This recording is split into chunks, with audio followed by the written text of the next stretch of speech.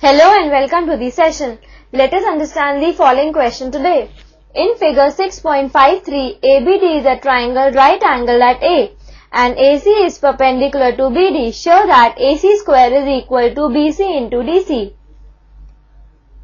Given to us is figure where ABD is a right angle triangle at A and AC is perpendicular to BC. Now before writing the solution, let us see the theorem that we will be using in the question, which states that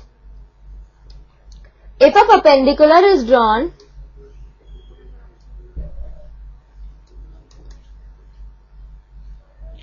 from the vertex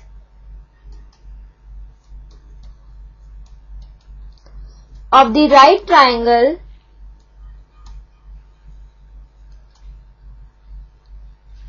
right angle of a right triangle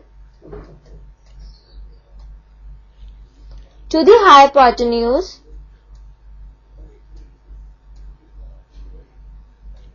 the triangles on each side of the perpendicular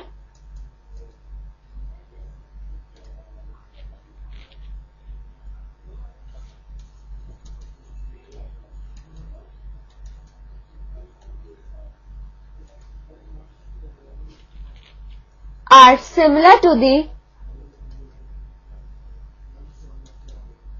whole triangle and to each other.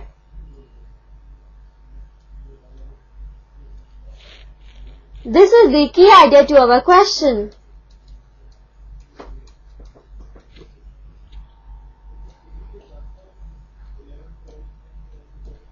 Now let us write the solution. Since in the given figure we can see AC is perpendicular to BD,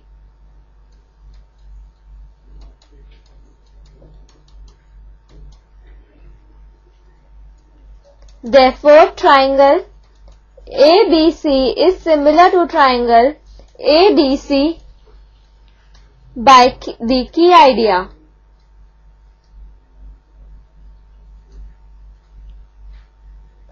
Hmm we know that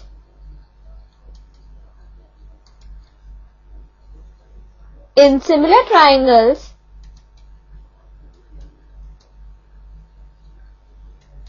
corresponding sides are proportional.